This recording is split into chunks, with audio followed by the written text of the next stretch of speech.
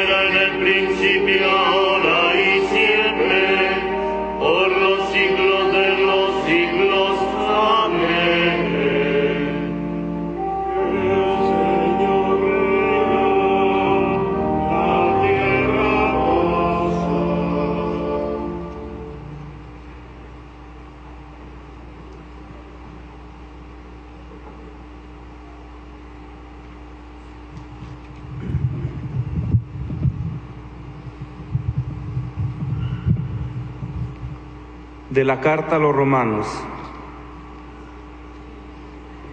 ¿Quién podrá apartarnos del amor de Cristo? ¿La aflicción? ¿La angustia? ¿La persecución? ¿El hambre?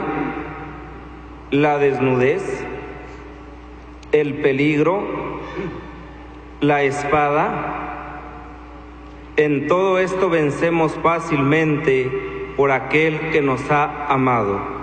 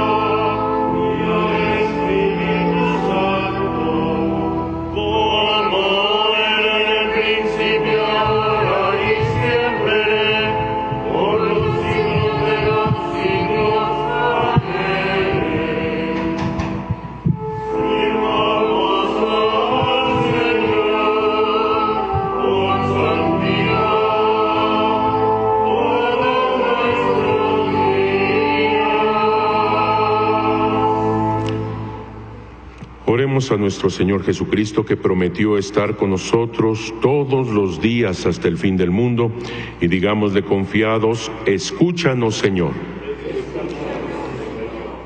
Quédate con nosotros, Señor, durante todo el día, que la luz de tu gracia no conozca nunca el anochecer en nuestras vidas, Escúchanos Señor. que el trabajo de este día sea como una oblación sin defecto y que sea agradable a tus ojos, Escúchanos Señor. que en todas nuestras palabras y acciones seamos hoy luz del mundo y sal de la tierra para cuantos nos traten. Escúchanos Señor. Que la gracia del Espíritu Santo habite en nuestros corazones y resplandezca en nuestras obras, para que así permanezcamos en tu amor y en tu alabanza. Escúchanos, Señor. Terminemos nuestra oración diciendo juntos las palabras del Señor y pidiendo al Padre que nos libre de todo mal. Padre nuestro que estás en el cielo, santificado sea tu nombre. Venga a nosotros tu reino. Hágase tu voluntad en la tierra como en el cielo. Danos hoy nuestro pan de cada día. Perdona nuestras ofensas, como también nosotros perdonamos a los que nos ofenden. No nos dejes caer en la tentación y líbranos del mal. Envía, Señor, a nuestros corazones la abundancia de tu luz, para que avanzando siempre por el camino de tus mandatos, nos veamos libres de todo error. Por nuestro Señor Jesucristo, tu Hijo, que contigo vive y reina en la unidad del Espíritu Santo y es Dios por los siglos de los siglos. Que el Señor esté con ustedes. La bendición de Dios Todopoderoso, Padre, Hijo y Espíritu Santo descienda sobre ustedes.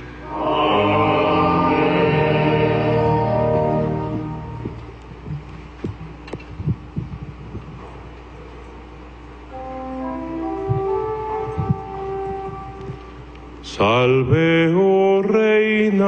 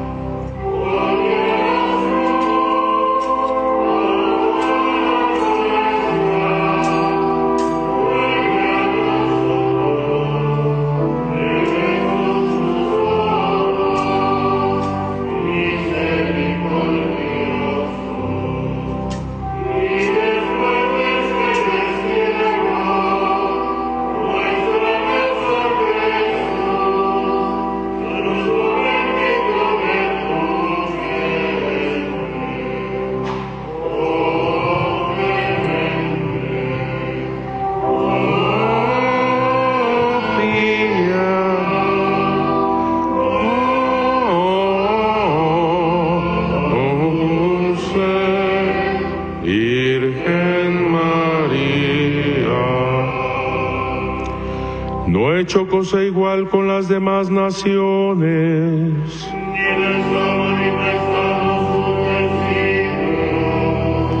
Oremos.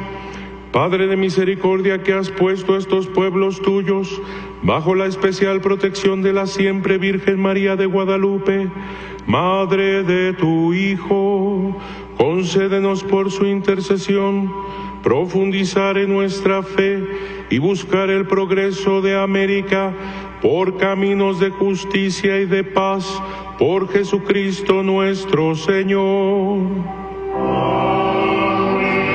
El auxilio divino permanezca siempre con nosotros.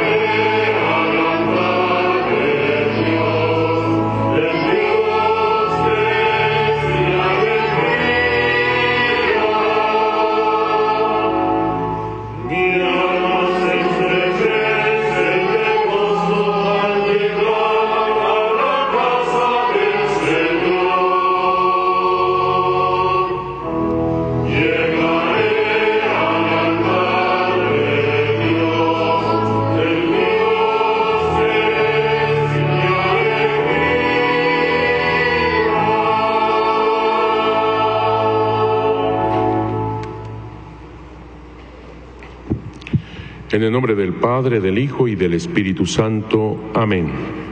La gracia y la paz de parte de Dios nuestro Padre y de Jesucristo el Señor estén con todos ustedes. Muy buenos días hermanos, qué bueno que estamos en la casita sagrada de Santa María de Guadalupe en esta misa de Cabildo, donde el venerable Cabildo, así como los padres capellanes, diáconos, celebramos esta Eucaristía. Ven pocos canónigos, ven pocos padres capellanes, porque están en retiro espiritual. Vamos a pedir mucho por todos ellos, que el Espíritu Santo los ilumine, Nuestra Señora de Guadalupe los acompañe.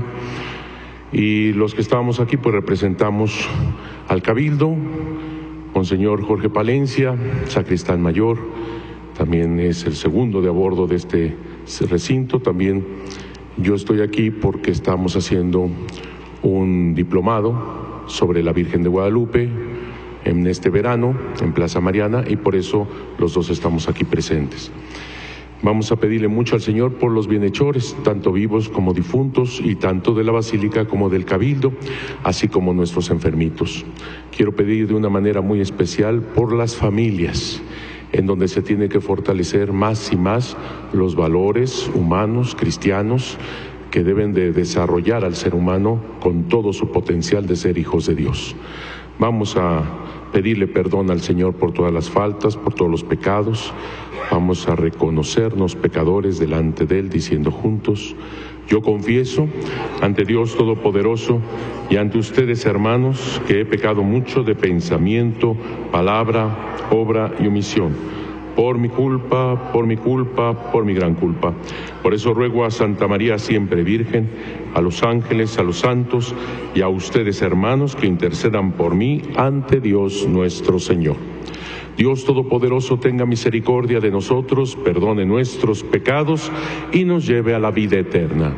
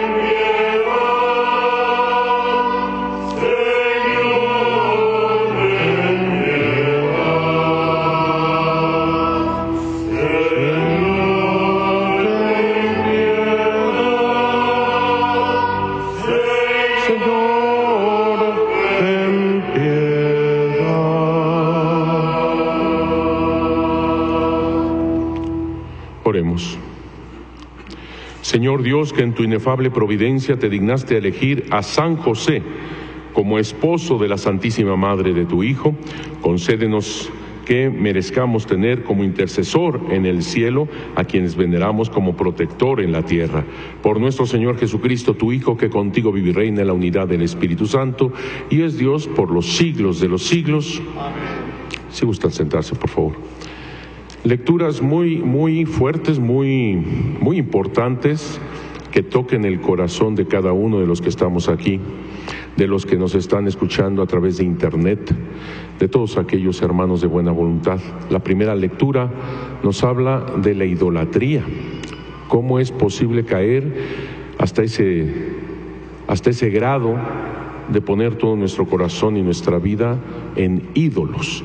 Y la segunda lectura, cómo el Señor Jesús elige a sus apóstoles para que vayan por todo el mundo y den testimonio de este Evangelio y toque el corazón de todo ser humano. Vamos a escuchar.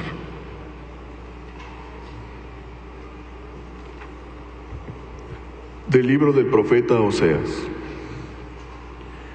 Israel era una viña frondosa que daba abundante fruto, pero cuanto más se multiplicaban sus frutos, más se multiplicaban sus altares paganos. Cuanto más rico era el país, más ricos fueron sus monumentos a los ídolos. Su corazón está dividido y van a pagar sus culpas. El Señor derribará sus altares y demolerá sus monumentos. Pero ellos dicen, no tenemos rey. Pero si no temen al Señor, ¿qué podrá hacer por ellos el rey? Samaria y su becerro desaparecerán como espuma sobre el agua. Todos los santuarios de los ídolos serán destruidos, y sobre sus altares crecerán espinas y cardos, porque la idolatría ha sido el pecado de Israel. Entonces gritarán a los montes, cúbranos, y a las colinas, sepúltenos. Siembren justicia y cosecharán misericordia. Preparen sus tierras para la siembra, pues ya es tiempo de buscar al Señor, para que venga y llueva la salvación sobre ustedes. Palabra de Dios. Te alabamos, Señor.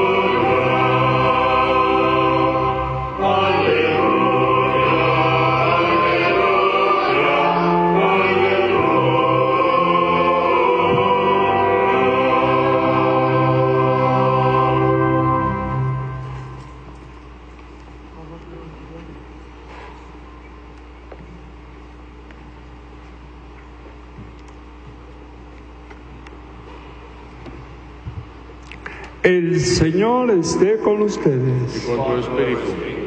Del Santo Evangelio según San Mateo. Gloria a ti, Señor.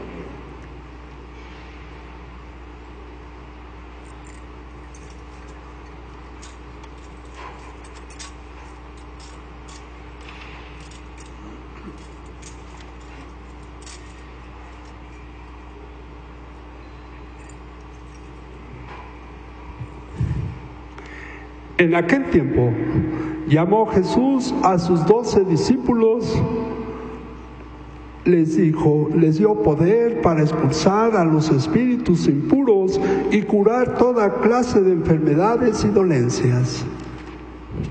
Estos son los nombres de los doce apóstoles. El primero de todos, Simón, llamado Pedro, y su hermano Andrés. Santiago y su hermano Juan, hijos de Zebedeo, Felipe y Bartolomé, Tomás y Mateo, el publicano, Santiago, hijo de Alfeo y Tadeo, Simón el cananeo y Judas Iscariote, que fue el traidor. A estos doce los envió Jesús con estas instrucciones. No vayan a tierra de paganos, ni entren en ciudades de, samaritanos. Vayan más bien en busca de las ovejas perdidas de la casa de Israel. Vayan y proclamen por el camino que ya se acerca el reino de los cielos. Palabra del Señor. Gloria Señor.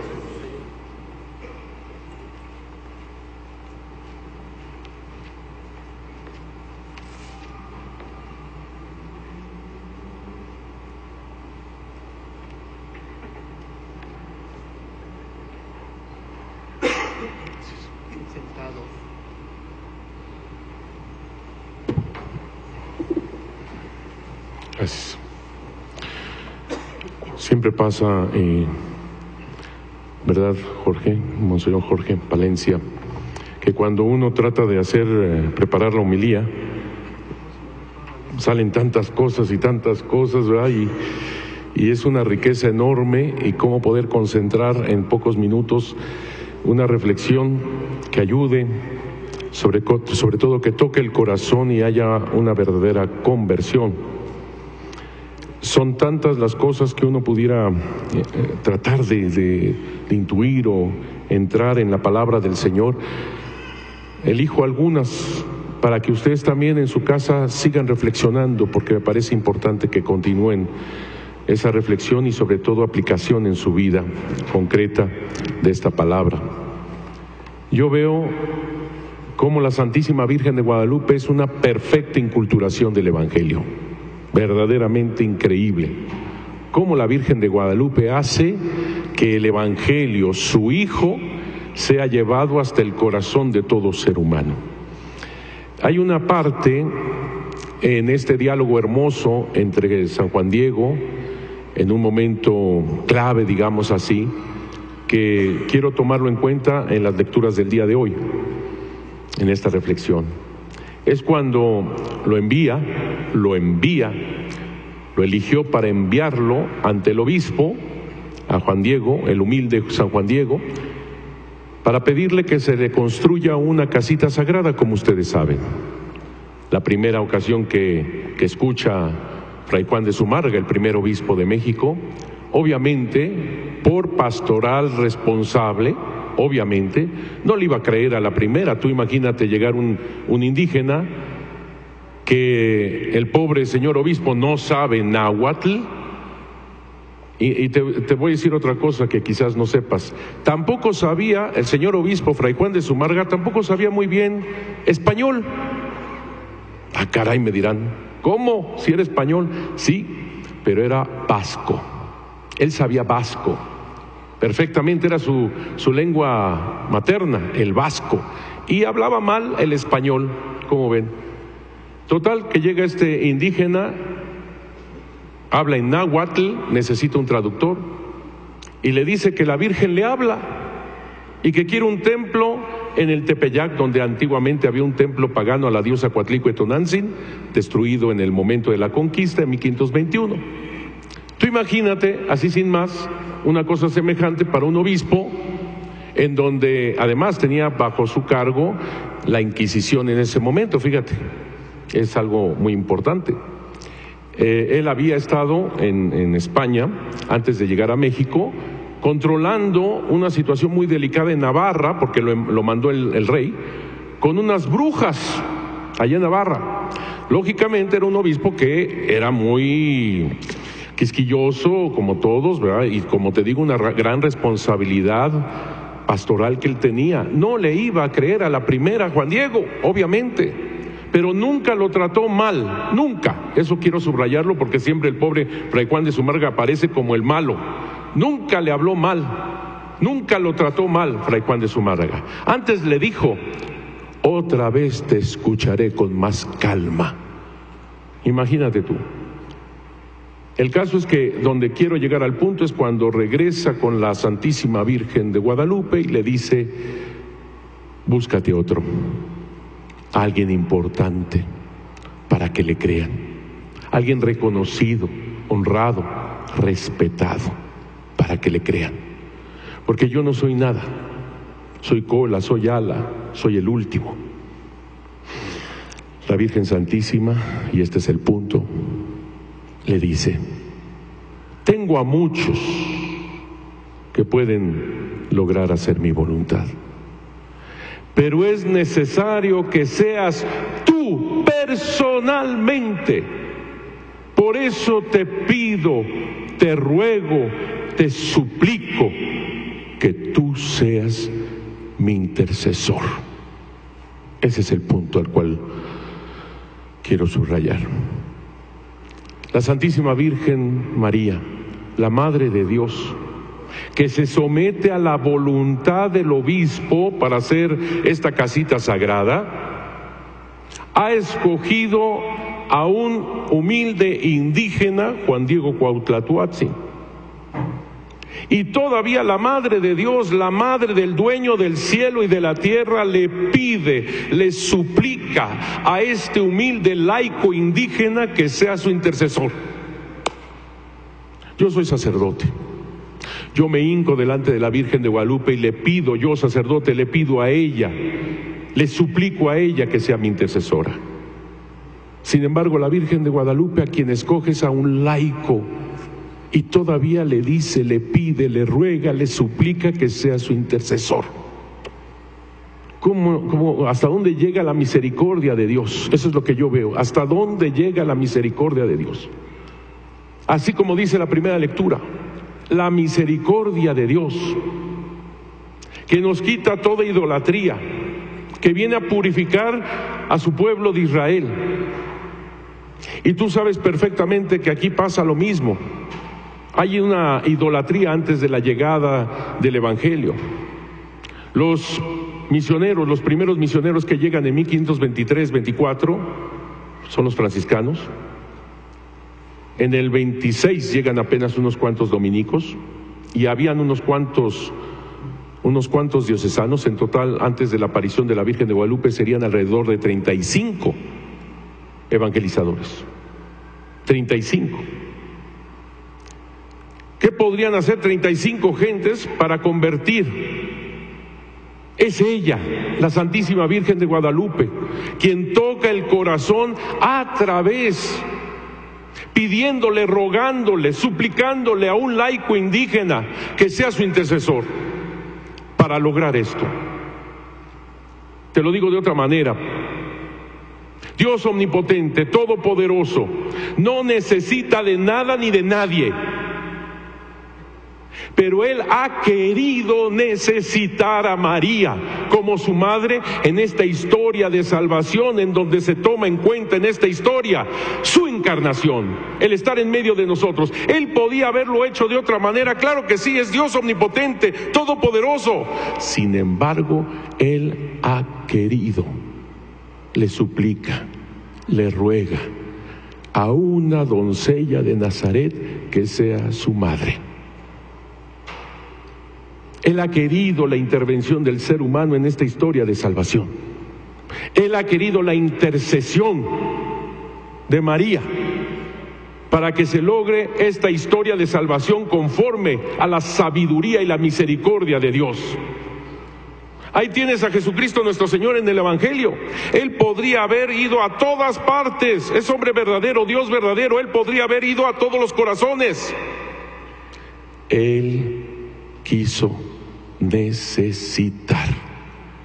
Él quiso la intercesión de estos discípulos para que fueran por todo el mundo y dieran testimonio de Él. Él quiso necesitarlos. La Virgen de Guadalupe no es ninguna idolatría. Esos hermanos nuestros que dicen algo semejante simplemente no la conocen. Es como los fariseos del pueblo de Israel que al no conocer a Jesús dicen, este es un loco. Simplemente no lo conocen, no saben quién es Jesucristo nuestro Señor. Y saben una cosa, a mí me parece que el amor de Dios sí llega a la locura. Nos ama tanto que ha querido necesitarnos. Este Dios omnipotente ha querido en esta historia de salvación que nosotros entráramos, amáramos, diéramos esta misericordia de su parte. Con razón la Virgen Santísima de Guadalupe cuando habla con Juan Diego también se expresa así.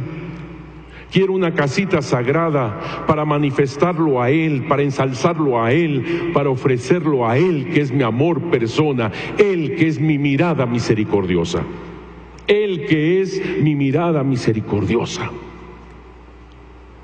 Los obispos, los obispos en, aquí en todo el continente, en sus reuniones, en estos sínodos que han tenido, hablan de María de una manera impresionante. Por ejemplo, en el, en el sínodo de Puebla, ellos dicen, la participación de María, dice, por medio de María encontramos a Jesús. Cuando nació Jesús, los magos de Oriente acudieron a Belén y vieron al niño con María su madre. Al inicio de la vida pública, en las bodas de Caná, cuando el Hijo de Dios realizó el primero de sus signos, suscitando la fe de sus discípulos, recuerden cómo María dice, hagan todo lo que Él les diga. La Madre de Cristo se presenta ante los hombres como portavoz de la voluntad del Hijo, indicadora de aquellas exigencias que deben cumplirse para que pueda manifestarse el poder salvífico del Mesías. Hagan todo lo que Él les diga.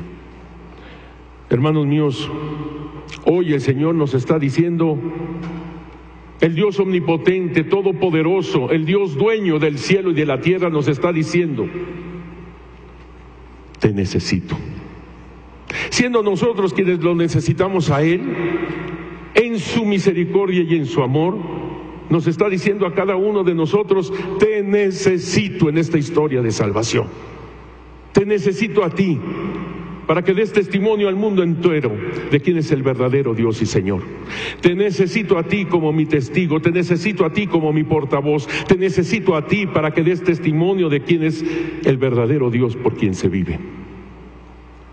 Él en su infinita misericordia, en su finito amor, ha querido necesitarte. El Dios dueño del cielo y de la tierra ha querido que tú formes parte de esta historia de salvación. Te necesita, te necesita. Y ahí en tu familia, para que des estos valores humanos y cristianos, ahí en tu comunidad, para que tú digas con tu vida misma lo que significa la verdad, el amor y la misericordia. Tenemos una labor muy grande en la cual no estamos solos. El mismo Señor Jesús nos lo dijo yo estaré con ustedes todos los días, hasta el fin del mundo. Y Santa María de Guadalupe siempre estará repitiéndonos en nuestro, en nuestro corazón, no tengas miedo. ¿Acaso no estoy yo aquí que tengo el honor, la dicha, la alegría, la fiesta de ser tu madre? ¿Acaso no soy yo tu protección, tu resguardo? ¿Acaso no soy yo la fuente de tu alegría? ¿No estás acaso en el hueco de mi manto, en el cruce de mis brazos? ¿De qué otra cosa tienes necesidad? Hermanos míos, pongamos todo nuestro corazón, nuestra mente, para amar a Dios con Él con todo lo que está en nuestra persona como hijos de Dios y al prójimo como a uno mismo. Que Dios nos bendiga en esta historia de salvación.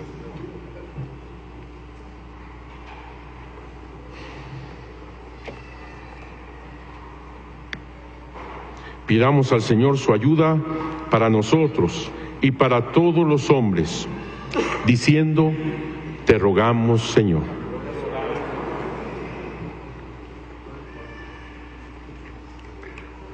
Por los religiosos, que sean siempre plenamente fieles a su vocación. Oremos. Te rogamos Señor.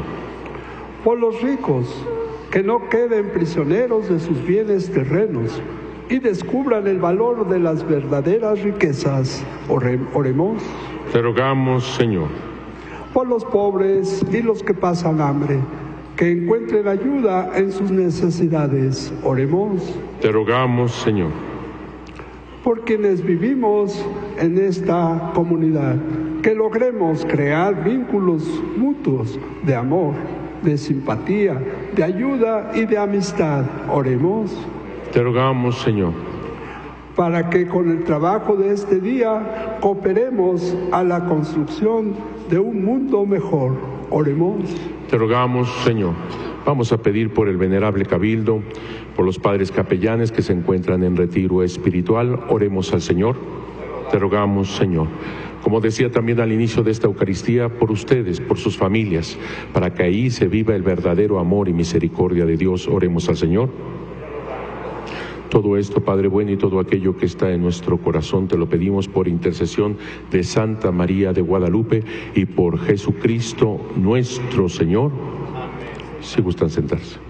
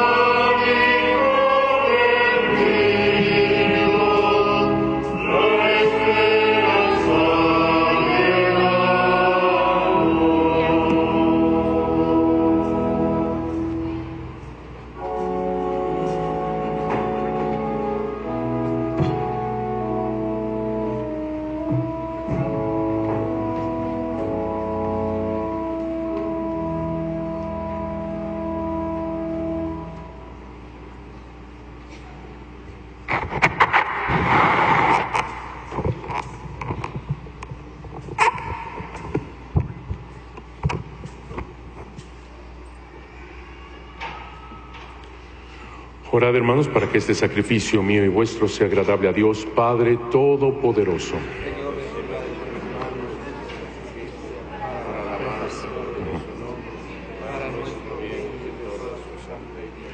Al prepararnos a ofrecerte, Padre Santo, este sacrificio de alabanza, te suplicamos que para cumplir la misión que nos has confiado, nos ayude la intercesión de San José, a quien concediste cuidar en la tierra, haciendo las veces de Padre a tu unigénito, Él que vive y reina por los siglos de los siglos. El Señor esté con ustedes. Levantemos el corazón. Demos gracias al Señor nuestro Dios. Verdad es justo y necesario, es nuestro deber y salvación darte gracias siempre y en todo lugar, Señor Padre Santo, Dios Todopoderoso y Eterno, y alabar, bendecir y proclamar tu gloria en la conmemoración de San José, porque Él es el hombre justo que diste por esposo a la Virgen Madre de Dios el fiel y prudente servidor, a quien constituiste jefe de tu familia, para que haciendo las veces de padre, cuidara a tu unigénito, concebido por obra del Espíritu Santo, Jesucristo, Señor nuestro, por él los ángeles y los arcángeles y todos los coros celestiales celebran tu gloria unidos en común alegría. Permítenos asociarnos a sus voces cantando humildemente tu alabanza.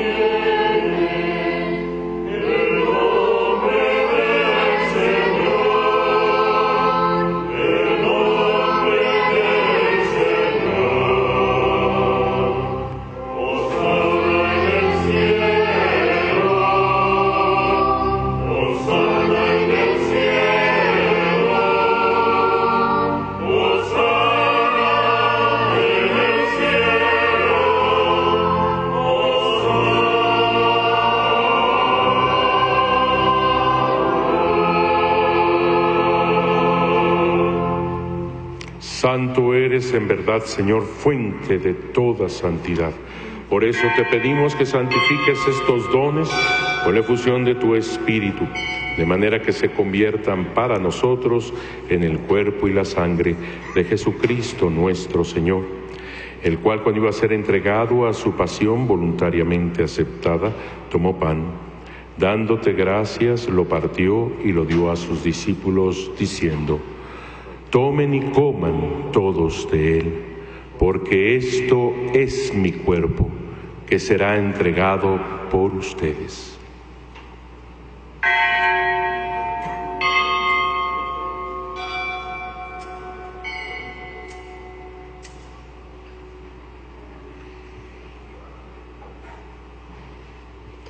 Del mismo modo, acabada la cena, tomó el cáliz y dándote gracias de nuevo, lo pasó a sus discípulos diciendo, tomen y beban todos de él, porque este es el cáliz de mi sangre, sangre de la alianza nueva y eterna, que será derramada por ustedes y por muchos para el perdón de los pecados. Hagan esto en conmemoración mía.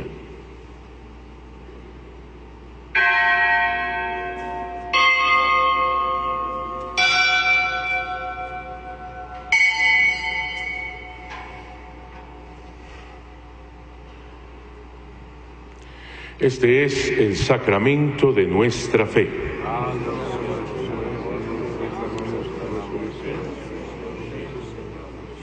Así pues, Padre, al celebrar ahora el memorial de la muerte y resurrección de tu Hijo, te ofrecemos el pan de vida y el cáliz de salvación, y te damos gracias porque nos haces dignos de servirte en tu presencia.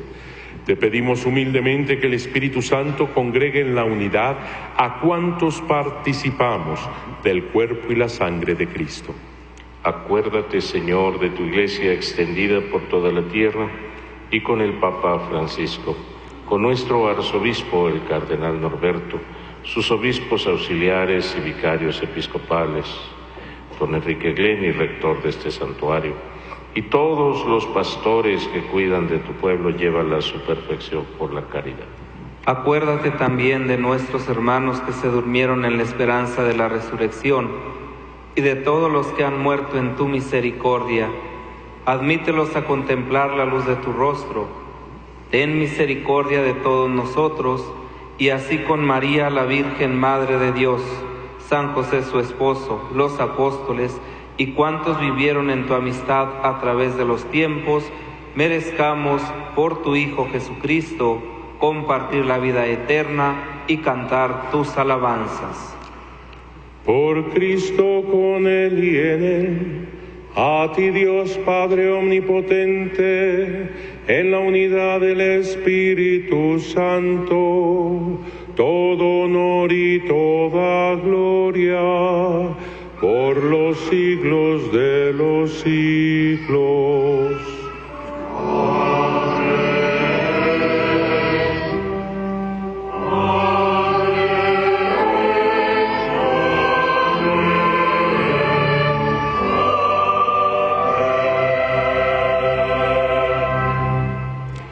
Fieles a la recomendación del Salvador y siguiendo su divina enseñanza, nos atrevemos a decir, Padre nuestro que estás en el cielo, santificado sea tu nombre, venga a nosotros tu reino,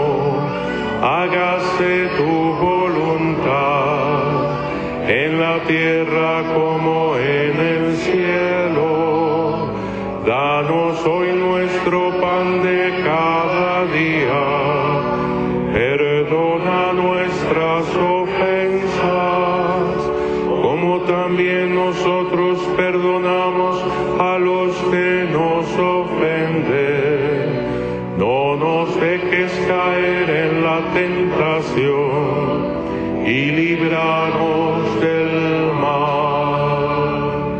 Líbranos de todos los males, Señor, y concédenos la paz en nuestros días, para que ayudados por tu misericordia vivamos siempre libres de pecado y protegidos de toda perturbación, mientras esperamos la gloriosa venida de nuestro Salvador Jesucristo. Señor Jesucristo, que dijiste a tus apóstoles, la paz les dejo, mi paz les doy. No tomes en cuenta, Señor, nuestros pecados que son tantos, sino la fe de esta tu iglesia y conforme a tu palabra concédele la paz y la unidad, tú que vives y reinas por los siglos de los siglos. La paz del Señor sea siempre con todos ustedes. Dense fraternalmente la paz.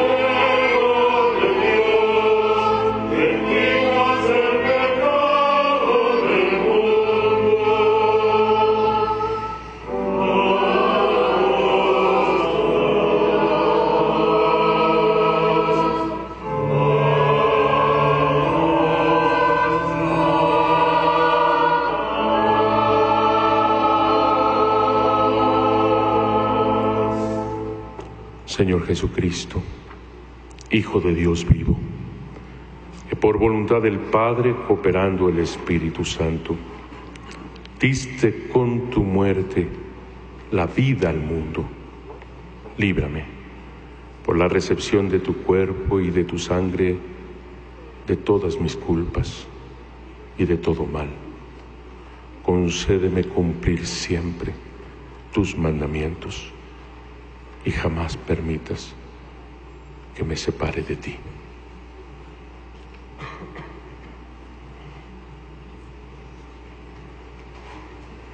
Este es Cristo, el Cordero de Dios, que quita el pecado del mundo. Dichosos los invitados a la mesa del Señor. Señor, yo no soy digno de que entres en mi casa, pero una palabra tuya bastará para sanarme.